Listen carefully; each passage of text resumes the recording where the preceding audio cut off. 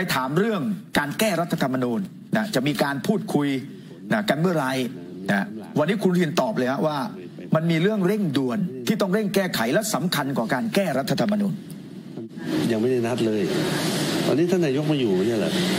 ท่านไปเดินทางไปต่างประเทศยังไม่มีกำหนดว่าจะเมื่อไหร่ยังฮะยังไม่ได้กำหนดโอ้มันมีแต่เรื่องตั้งแต่วันที่หนึ่งตุลาก็มีแต่เรื่องอื่นเรื่องที่มัน สำคัญกว่านะครับที่จะมาคุยเรื่องแก้รัฐธรรมนูญวันนี้ที่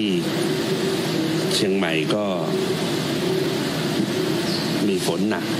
นะมีน้ำหลากเข้ามาอีกต้องไปไปไปแก้ไขปัญหาให้พี่น้องประชาชนแต่ก็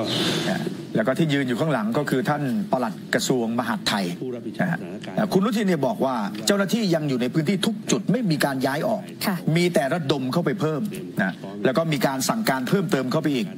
หน่วยงานที่เข้าไปสนับสนุนการทำงานอ่าโดยเฉพาะอย่างยิ่งพื้นที่เฝ้าระวังอย่างเชียงรายเชียงใหม่ค่ะนะเดี๋ยวลองไปฟังเพิ่มเติมปลัดกระทรวงมีแต่ระดมเพิ่มเข้าไป เมื่อวานท่านปลัดกระทรวงมหาดไทย ท่านก็ได้แต่งตั้ง นอกจากรองปลัดกระทรวงโชตินรินทร์ที่ไปเป็นรักษาการผู้ว่าเชียงรายแล้ว ท่านก็ได้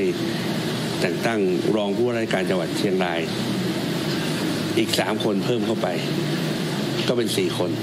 เพราะฉะนั้นตอนนี้เชียงรายครบทีมแล้ว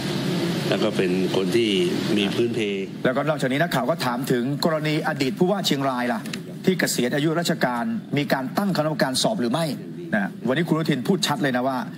ไม่มีจบไปแล้วครับ ไม่มีฮะไม่มีไอ้ไอ้เรื่อง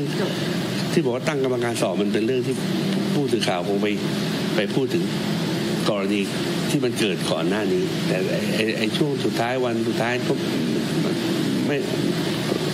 ให้ทุกคนได้เกษียณสำราญไปดีกว่านะไม่มีฮะไม่มีก็โฟกัสกับงานข้างหน้าก็คือให้มีคนไปรักษาราชการอ่าผู้ว่าเชียงรายนะก็มีแล้วค่ะแล้วก็ครบทีมแล้วในเชียงราย มุ่งที่แก้ปัญหาที่ประชาชนเผชิญอยู่ ส่วนเรื่องที่ในอดีตก็ผ่านไปจบไปแล้วมันผ่านไปนะละ